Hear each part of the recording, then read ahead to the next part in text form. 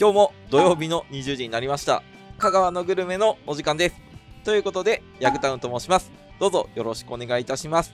今まで紹介させていただいた讃岐うどん屋さんは合計285店舗。なんですが今日は讃岐うどんではなく香川のラーメン屋さんの紹介をさせていただきたいと思います。ということで今日は香川県高松市にあるラーメン吉田さんの方へ向かってっております。それではこのラーメン吉田さんの基本的な店舗情報について説明させていただきます。まず食べログの点数ですが3.34点そして Google の点数が3.9点となっています。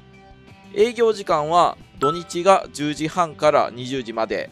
平日は間14時から17時半までが中休憩です。定休日は毎週月曜日。交通手段として車の場合駐車場が約4台分あります。場所は高松空港から1.2キロほどの位置にあります。おすすめは中華そばです。牛骨から取ったスープで作るベテランの味。店主さんは高松の街中で35年間飲食業をやられていて高松空港裏の実家を改装して今のお店になってます。ということで到着です。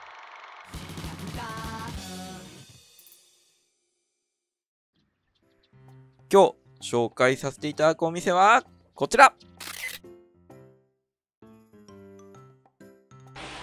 それでは入店していきましょう。こんにちは。なんかよく3万人ぐらいフォロワー数。が今そうですね3万大体3000円ぐらい。すごいな。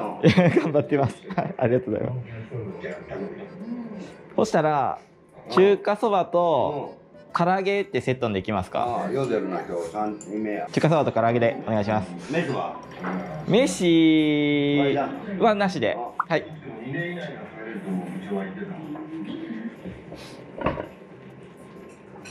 うん。はいありがとうございます。この後調理風景も撮影させていただきました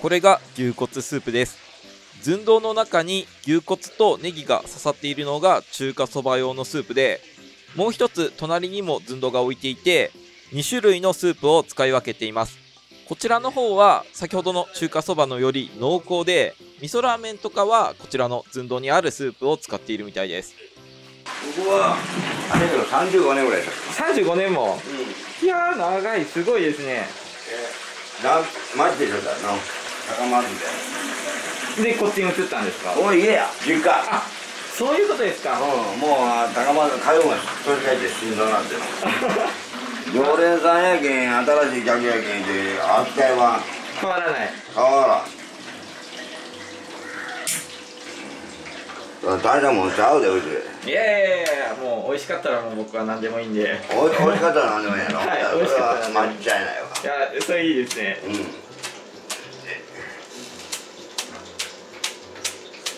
よいしょ、オッケー。はい。だけんあの、何言うな。ネギとかそんなのも全部家で作るようやったあそうなんですね、うん。大体ほとんど野菜も含めて自家製が多い。ああいいですねなんか自分のとこで完結するっていうのは、いや、お金がいらんけんやろ。はいはい、これが中華そば。はいありがとうござはいいます、、はいよ。もう唐揚げも上がったんですかね上がっと。ちょっと待ってよ。はいはいこういう感じはい。ありがとうございますはい。持っていく。はい。じゃあ席やります、うん、店内はこんな感じになってます。テーブル席で構成されている昔ながらのお店。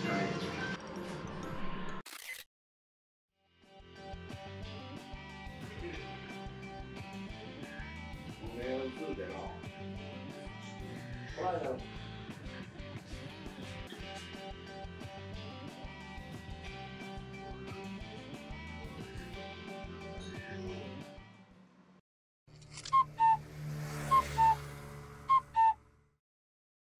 それではいただきます。いただきます。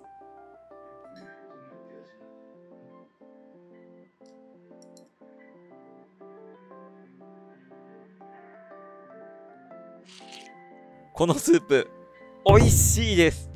牛骨のスープって今まであんまり食べたことなかったんですけど牛の旨味がめちゃくちゃ濃厚に効いてるんですよね。後味はさっぱりとしててなんかマイルドです醤油ベースのあっさりだけど深い味わいのあるスープでした。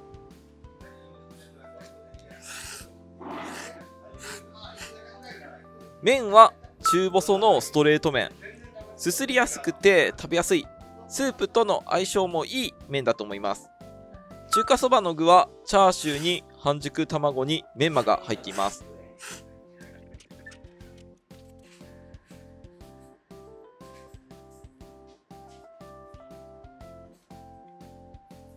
脂身が程よく柔らかいチャーシューです。卵もトロトロで完璧な半熟具合でした。それでは唐揚げもいただきます。